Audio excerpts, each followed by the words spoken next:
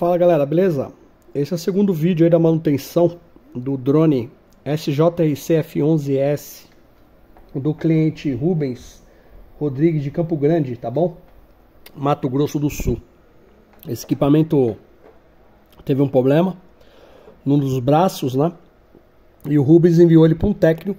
Né? O equipamento tinha bind. Né? O que, que é bindar? Bindar é você fazer a conexão do drone com um rádio, tá? Que seria na, na forma técnica de se expressar TX e RX. E o, era um problema de 5 minutos, tá? É um problema simples para os técnicos que conhecem esse tipo de problema, resolve muito fácil. E ele mandou para um técnico lá que segurou o drone por um tempo e depois mandou ele retirar o drone porque não tinha mais conserto. Ele condenou o drone do cliente, tá? Ele condenou o drone do cliente. Eu vou mostrar o estado que esse técnico deixou o equipamento aqui, né? O Rubens ele alega que o drone estava conectando quando enviou, tinha, tinha movimento, né, de estabilidade no sistema de imagem que seria o gimbal, tá? E o drone chegou pra gente aqui já sem funcionar. No vídeo, esse aqui é o vídeo 2, tá? O vídeo número 2. No vídeo número 1 um eu mostro algumas coisas, né? Se você quiser assistir, eu vou deixar na descrição desse vídeo aqui.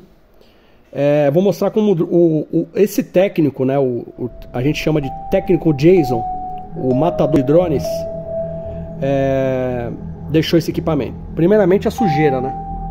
Primeiramente a sujeira que a aeronave se encontra, tá? O cara não teve nem a capacidade de limpar o equipamento, né? Vocês verem aí, ó. Olha isso aqui. Tá? Isso é um técnico Jason, né? Aquele que saiu do fundo do pântano. Tá? Fios rompidos, como vocês estão vendo aqui, ó. Fios rompidos. Muita sujeira no equipamento, muita sujeira mesmo, tá? Se você olhar aqui, ó. Olha como tá essa manta aqui. Tá, essa aqui é uma manta antimagnetismo, né? Ela tem a primeira película em cima, ela é, é ela não não, ela não, ela não é, não, não tem corrente, né? Ela não transporta corrente na, na, na película também de fora. São duas, duas mantas, tá?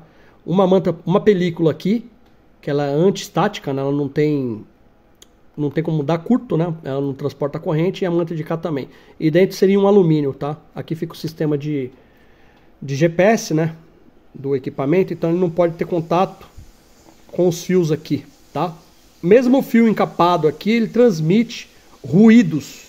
A gente chama de sujeira, que pode afetar no sistema da bússola, que é o compass, tá? Por isso que usa essa manta aqui, ó. Essa manta aqui é para vedar o GPS do ruído da sujeira que passa nos fios, tá? A corrente elétrica, a tensão, né? Ela transmite ali ruídos que pode estar tá afetando a navegação do drone. Aqui a gente tem um fio todo mordido. Olha isso aqui que o técnico montador de drone fez, né?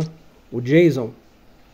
Tá? E fora a sujeira, né? Cola em tudo que é lugar. Colocou cola, não tem nada a ver. Tá bom, galera? Olha isso aqui, ó. Fora a solda, né? Tá aqui também a solda muito mal feita. A gente vai avaliar para ver se a gente consegue recuperar esse drone. Tá bom? Esse é o vídeo número 2. Equipamento aí do Rubens Rodrigues, de Campo Grande, Mato Grosso.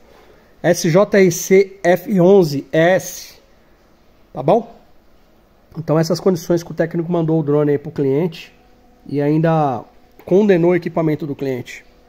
É isso que eu falo, vocês aí que estão com drone, que tem um problema, cara, procura um técnico profissional. Não tô falando mal do Rubens, tá, Rubens? Não é isso que eu quero dizer. Que vocês são vítimas, né? São vítimas também desse tipo de gente aí que bota a mão não sei se é problema financeiro e aí o cara quer fazer de tudo na vida, ele quer ser um astronauta sem ser. E aí é complicado, né? Porque o cara bota a mão numa coisa que tem conserto e acaba dando prejuízo pro cliente, dando mais trabalho pro técnico. Geralmente o técnico vai te cobrar mais por causa do trabalho que deu, né? Então é, é complicado. Então a gente fica chateado com isso daí. E o cliente não tem culpa, né? O cliente não tem culpa de, de passar por isso, porque ele acha que o cara resolve. Se o cara fala que resolve, ele acredita no cara, não. O cara podia, pelo menos, limpar o equipamento antes de trabalhar, né? Vocês estão vendo aí, ó. Tá muita sujeira. O equipamento tá muito sujo. Tá bom? Por isso que muitos técnicos não gostam nem de pegar equipamentos que foram abertos. Você manda um equipamento aberto para mim, eu já fico meio cabreiro. O Vitor, né, Colione, que é um excelente técnico, amigo nosso aqui, lá de Minas Gerais, também fala nos vídeos dele. Se você abrir o drone, não manda pra mim. Tá? Não é esse caso aqui do, do Rubens, né? O equipamento veio fechado pra gente, mas foi aberto por uma pessoa que não tem conhecimento técnico nenhum. E isso aí chega. deixa a gente triste, né? Porque acaba dando um custo a mais pro cliente. Claro, a minha manutenção ela tem um preço fixo, então eu vou arrumar o drone não vou cobrar nada mais por isso, mas. Não bota a mão. Se você não sabe mexer, meu amigo, não bota a mão, velho. Não bota a mão, entendeu? Eu não vou construir uma casa, falar que eu sou pedreiro se eu não sou. Eu não vou arrumar um celular e falar que eu sou técnico se eu não sou. Tem uns técnicos celulares aí, não todos, tem alguns que têm até conhecimento, a gente não pode banalizar, mas tem muito técnico celular que fala que é técnico de drone. O cara tem que ser uma coisa na vida, ou técnico de drone ou técnico de celular, tem que saber o que ele quer, né? Tá bom? Canal Drone Brasil Tecnologia, desculpa o desabafo aí. É que a gente vê umas coisas fica meio chateado. Ó galera, já comecei a fazer aqui a limpeza, como vocês estão vendo, a gente desmonta o drone inteiro, tá? Já estão fazendo a limpeza todo do sistema.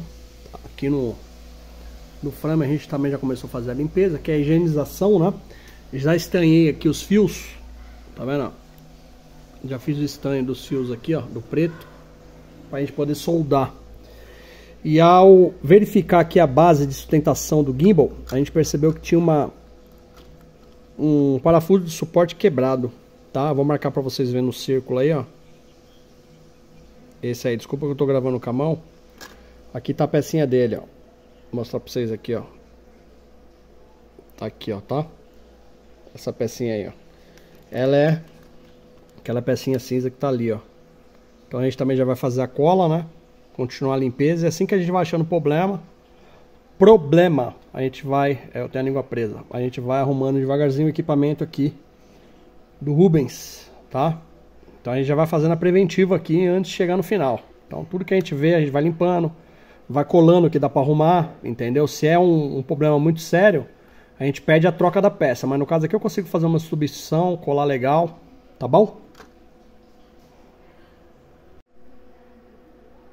Ó galera, Tô fazendo o vídeo aqui, colocando por partes. Quando você tem um problema desse aqui, de uma ruptura de uma peça dessa aqui, ó. Como vocês estão vendo aqui, ó. Esse apoio aqui para parafuso, né? Tá vendo? Aqui, ó. Esse aqui tinha quebrado. Como você faz uma cola dessa? Tá? Fazer uma cola eficiente, você usa Super Bond, tá? Ou qualquer cola de instantânea, né? Mas só a cola instantânea não vai resolver, tá? Porque é uma peça que existe vibração, né? O gimbal tá aqui, a gente já tirou o gimbal inteiro para fazer a limpeza, né? E colar aquela peça ali do cliente. Então o que acontece? Você tem que colocar o super bond, tá? Colocar o super bond e colocar isso aqui, ó. Bicarbonato. Porque aí ele cria uma cola resistente que segura, tá? Para colar legal o super bond e fazer uma cola instantânea, secar na hora, é o bicarbonato, tá? O bicarbonato e o super bond. Eu vou dar uma limpada aqui para vocês verem como que fica. Deixa eu apoiar de uma forma que dê para fazer aqui.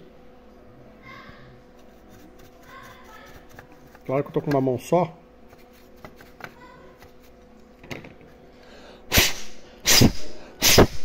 Ó. Como que fica? Fica tipo uma solda. Pra quem não sabe, aí aprende essa, ó. Vendo? Olha lá. Ficou uma solda muito resistente. Tá? Então aqui já a gente conseguiu arrumar a base aqui sem precisar trocar o frame.